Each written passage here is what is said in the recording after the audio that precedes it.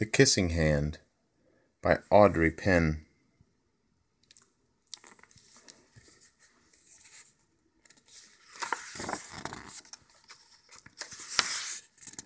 To Margie and James,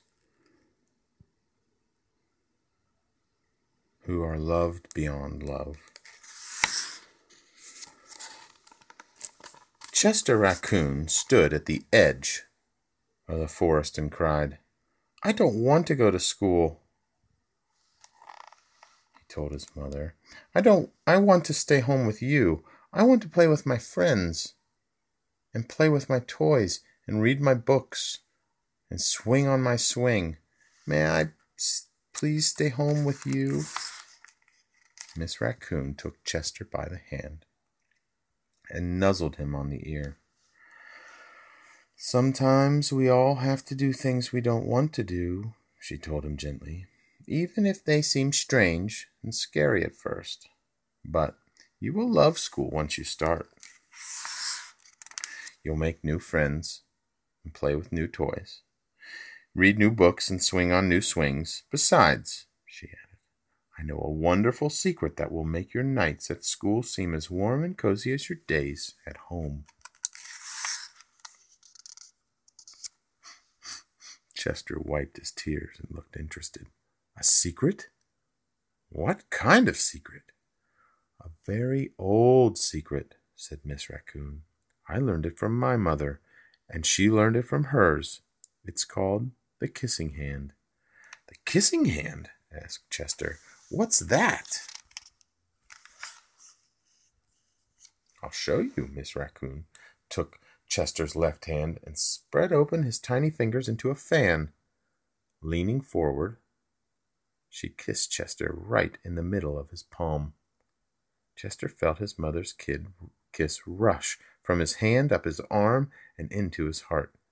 Even his silky black mask tingled with a special warmth. Miss Raccoon smiled.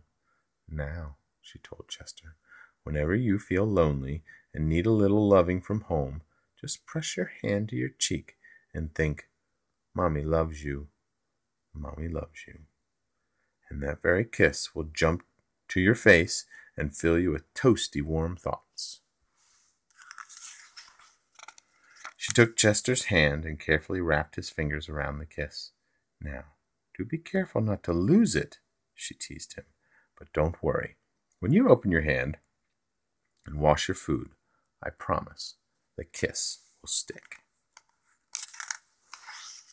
Chester loved his kissing hand. Now he knew his mother's love would go with him wherever he went, even to school. That night, Chester stood in front of his school and looked thoughtful. Suddenly he turned to his mother and grinned. Give me your hand, he told her. Chester took his mother's hand in his own and unfolded her large, familiar fingers into a fan. Next, he leaned forward and kissed the center of her hand. Now you have a kissing hand too, he told her, and with a gentle goodbye and I love you, Chester turned and danced away. Miss Raccoon watched Chester scamper across a tree limb and enter school. And as the hoot owl rang in the new school year, she pressed her left hand to her cheek and smiled. The warmth of Chester's kiss filled her heart with special words. Chester's, Chester loves you, it sang. Chester loves you.